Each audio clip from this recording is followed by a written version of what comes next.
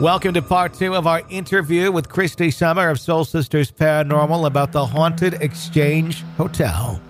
Let's go into the investigation and, and, the night that you go in there uh, after the initial daytime walkthrough. Uh, how do you get set up? What do you what, what's what's that like? What are your first experiences in that investigation evening?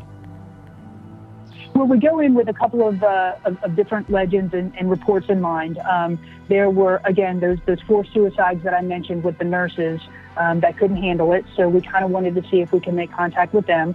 There were also reports of two children that were in the house. One uh, is a girl by the name of Emma, and one is a boy by the name of Jeremiah.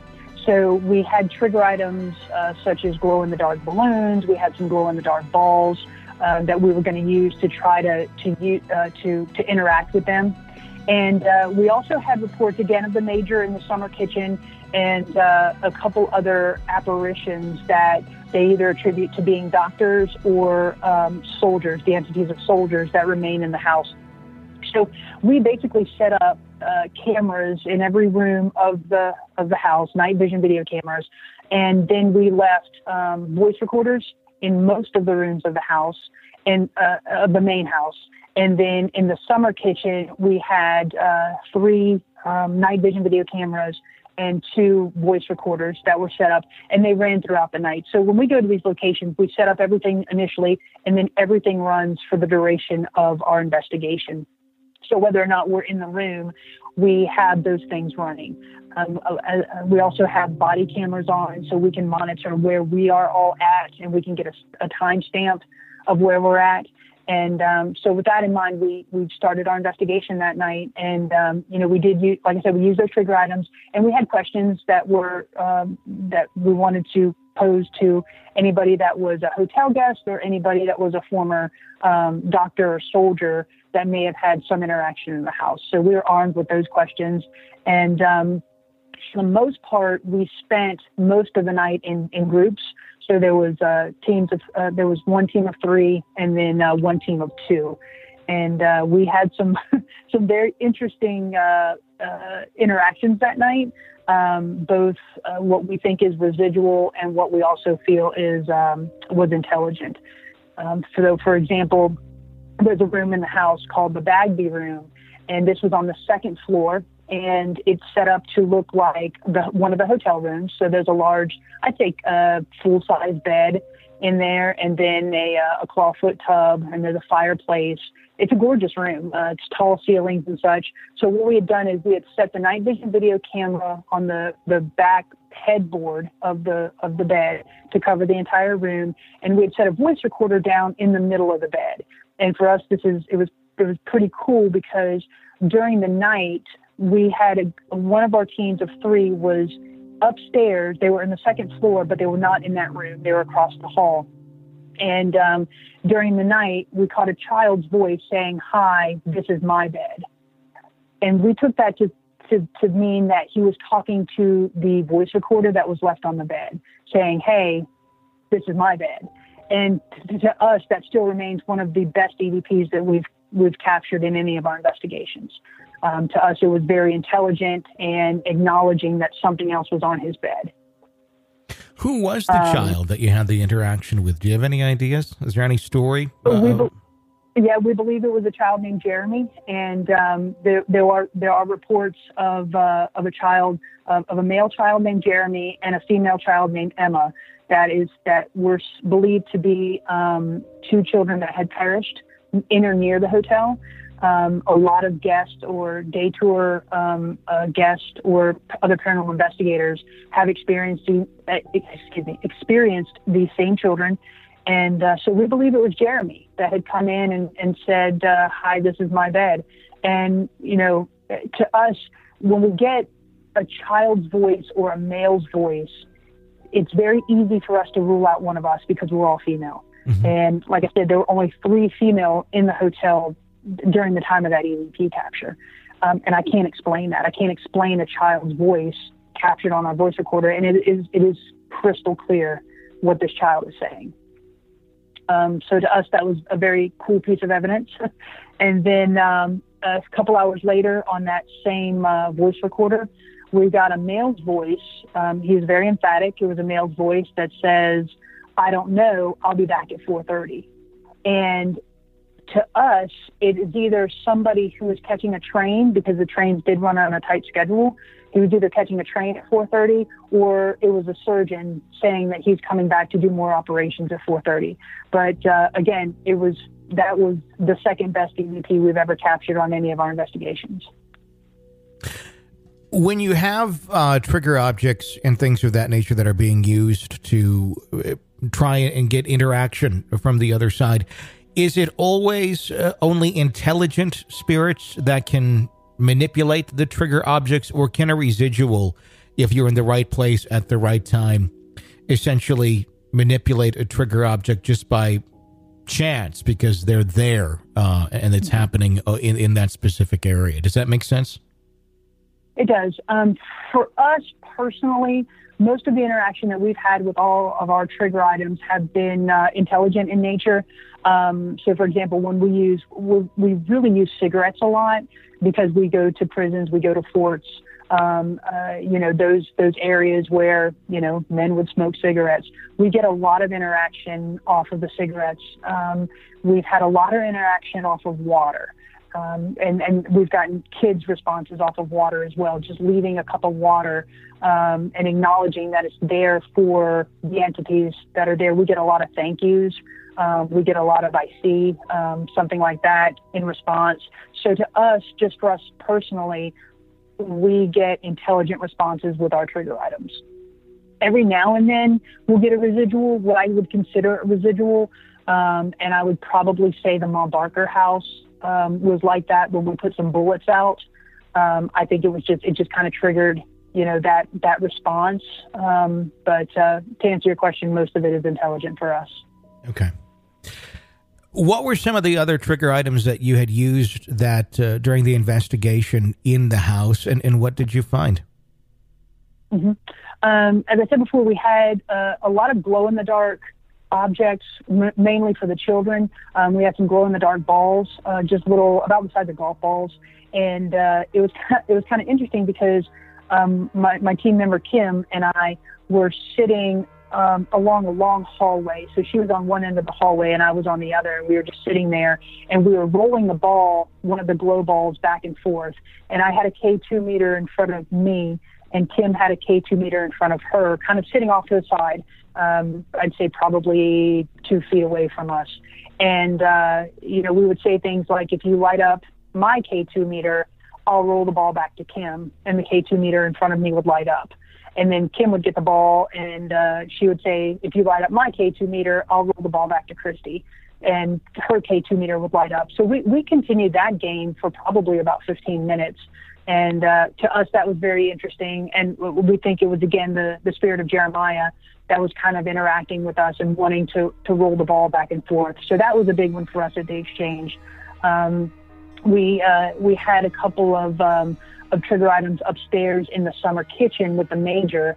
Um, that's where we left some cigarettes, and we also had uh, a small shot glass of whiskey that we had left out. You know, just thinking that men of those times would would probably want some libations, uh, especially in a tavern and uh, and then downstairs we had left um, we'd left some matches because we figured that uh, uh, the the cook there Anna the spirit of the cook would probably use those um, if she was to start a fire to cook and stuff like that um, so we'd left those and uh, and yeah that's to my recollection that's pretty much all we had left in that in that area. What is the thought process when leaving out food or drink for a ghost? This is something that comes up quite frequently. And I understand it as being, oh, look, there, there's something I'd enjoy if, if you're speaking on the part of the ghost. Uh, but are I mean this is completely an opinion based question. Um, are they aware that they're not able to pick up that glass and drink it or eat the food if it was food was that was put out? Um, what is it about it that that seems to work for being a trigger item or is there a way that they're able to experience these items do you think just by the fact that they are there for us personally and again i'll, I'll just speak on my own behalf mm-hmm. what i think is going on is it's an acknowledgement. It's an acknowledgement acknowledgement by us that says, "Hey, we understand that you used to live, that you used to enjoy these things, that this is something you probably partook of, and we're going to leave this for you as an acknowledgement of your past existence. And because of that, we would like a response." Um, and this was very big for me in, uh, in when we went to the um, to Fort Mifflin.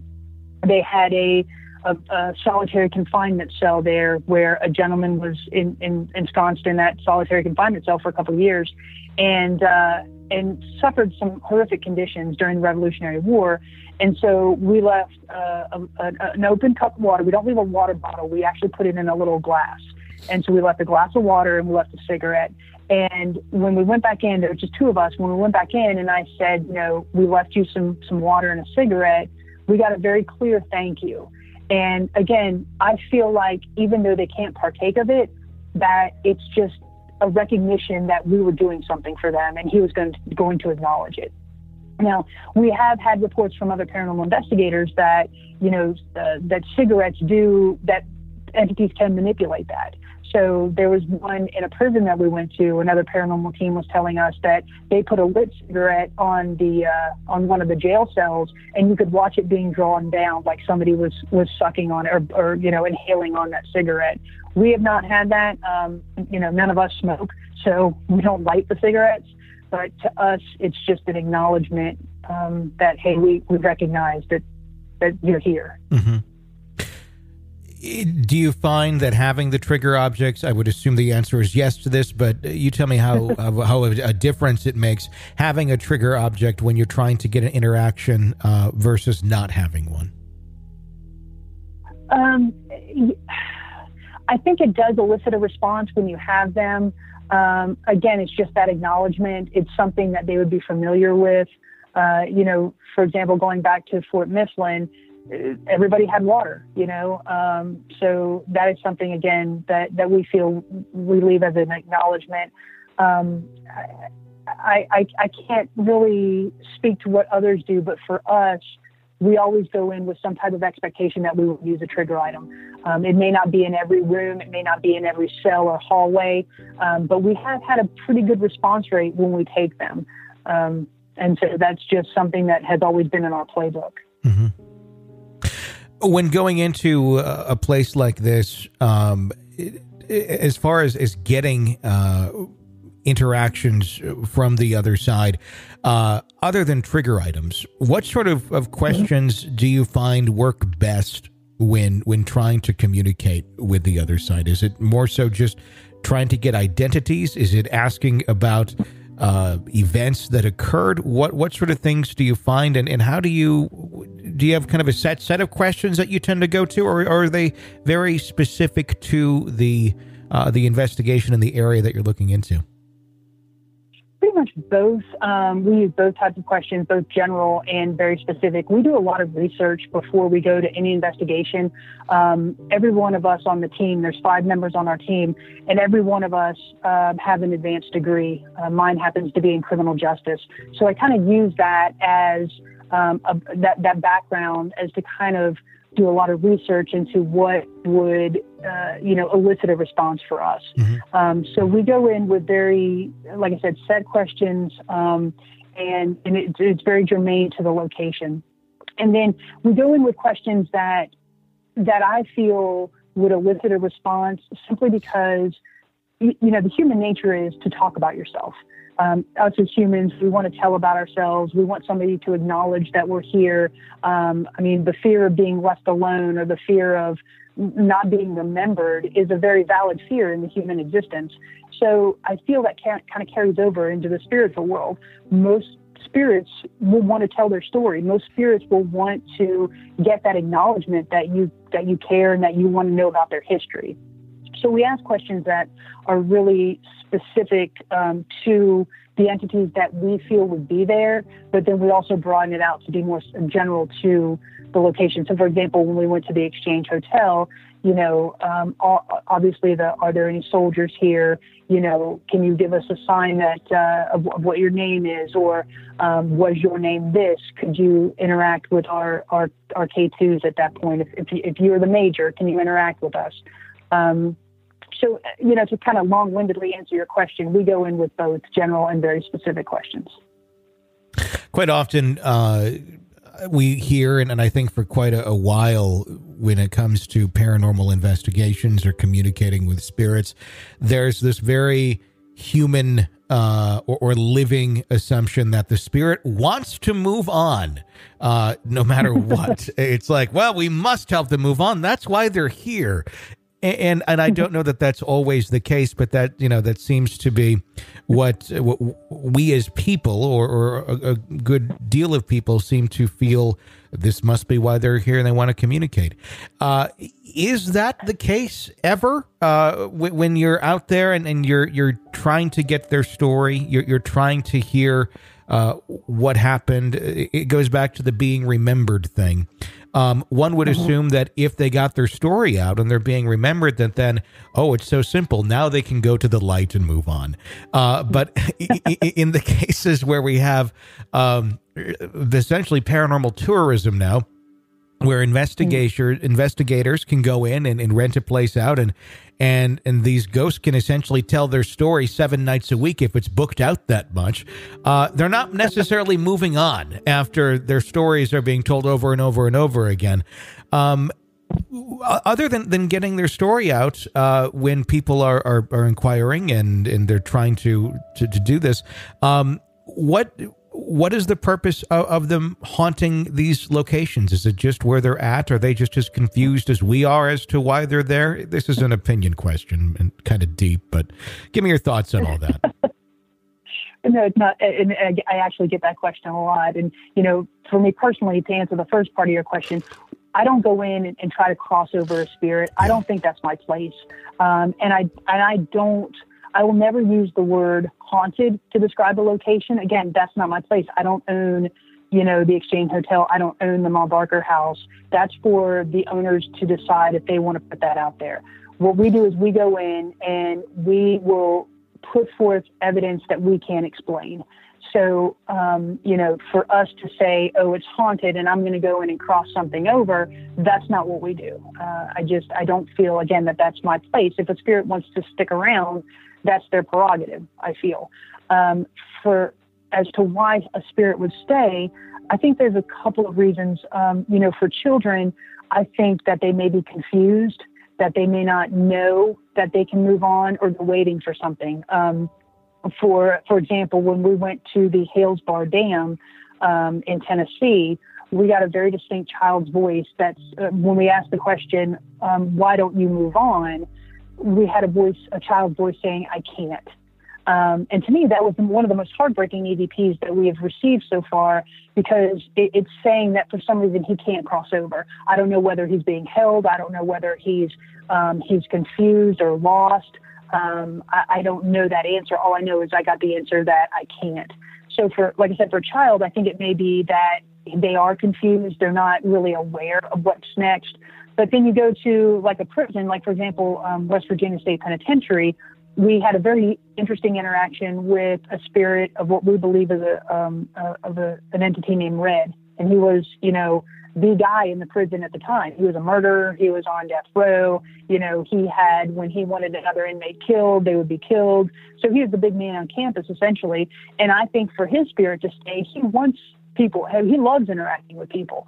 Um, he wants to be there because that's where he was comfortable. That's where he wants to stay, and uh, he has no problem not crossing on. I mean, if you're a big man on campus in life, maybe you're the big man on campus in death. And uh, so I think it's a personal choice at that matter um, whether or not to go.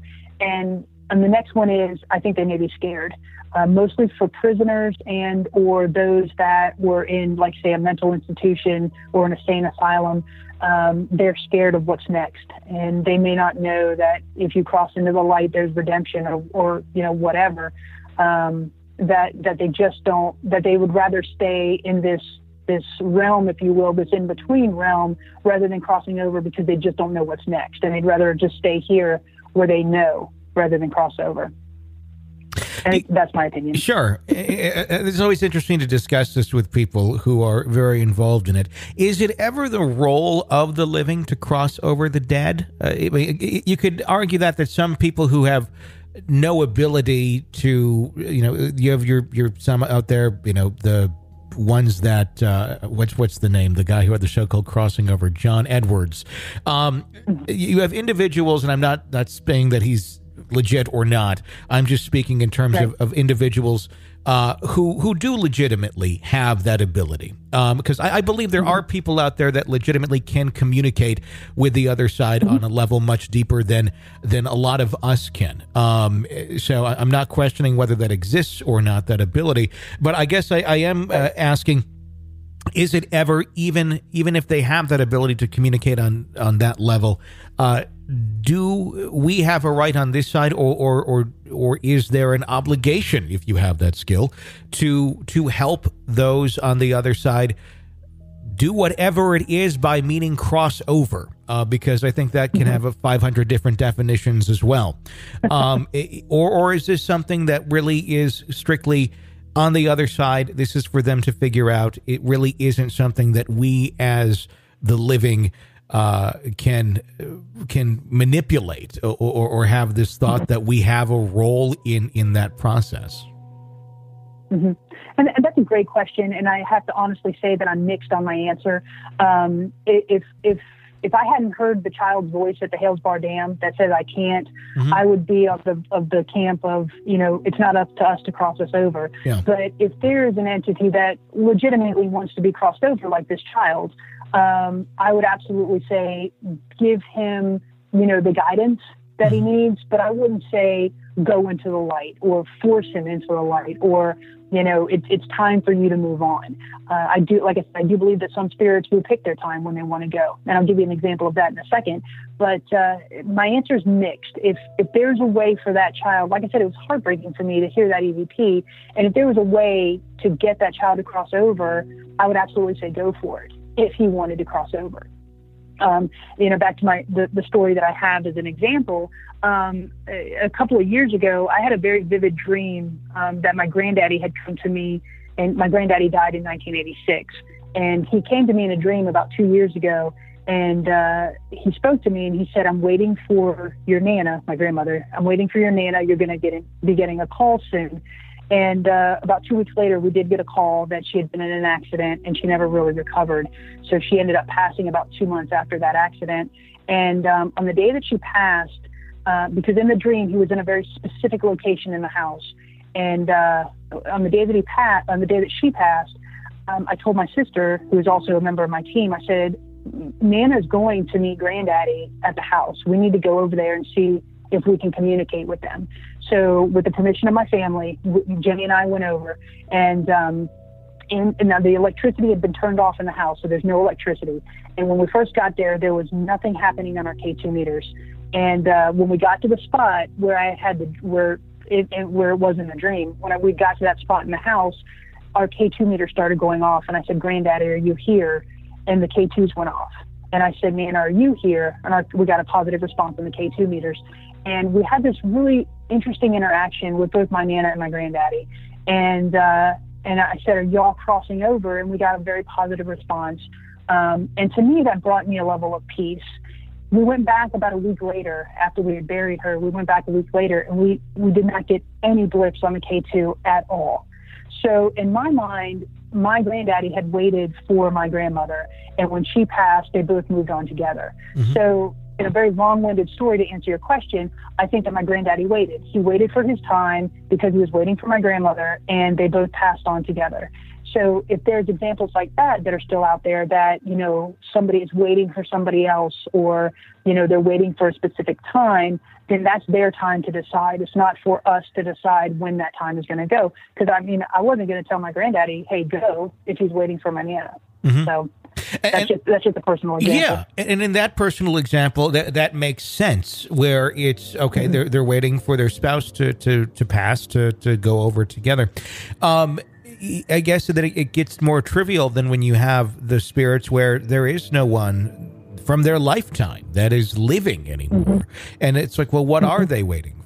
Are they just curious? Do they really want to see what the new iPhone is? They're the same almost every year, and it really is something they're never going to get to do. Or, or what is their purpose? Uh, you know, or, or, or is it something where they are stuck uh, and and they don't know and they're confused as to the time period and maybe whoever they are, whoever they they think they're waiting for, they are unaware that uh, mm-hmm. that they have passed, where maybe time doesn't matter so much on that side. Mm-hmm. Well, and again, you know, that goes back to my mixed answer. Um, you know, I, there there are times where I feel that if I have that ability uh, to help uh, an entity cross over, um, you know, I, I, would do that. Uh, like I said, the, the child in the, uh, the, the dam would be my prime example of mm-hmm. that.